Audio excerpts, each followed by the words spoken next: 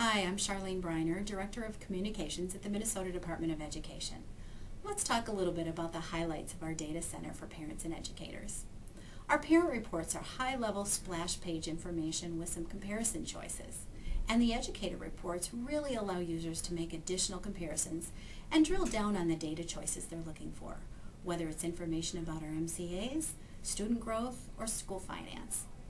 All of our reports are visually appealing and have been test driven by educators and stakeholders multiple times throughout the design process. Every report has a description, a frequently asked questions section, and a glossary tab that provides users with more information.